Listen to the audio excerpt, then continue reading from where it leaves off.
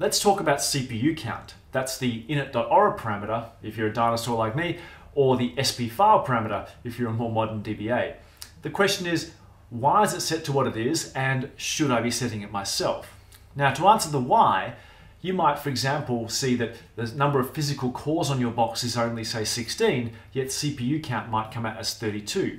To understand why that might be the case, check the previous video I've done on sockets, cores, and CPUs. Um, I'll put a link up there or in the description below so you can click on that video and understand what we mean by CPU in the Oracle instance. Now the question is, should I be setting CPU count? Well, for most people, you don't want to be doing this because if you don't set it to its default value, for example, let's say you set it to something lower than the default, you might inadvertently be actually throttling the amount of power your server can do we have a thing what's known as instance caging. I'll put a white paper link in the description below as well about a whole white paper on the concept of instance caging. But in a nutshell, what instance caging lets you do is throttle the amount of database work or throttle the amount of work a database can do based on the amount of CPU resources made available to it. So let's say my CPU count defaults to 32.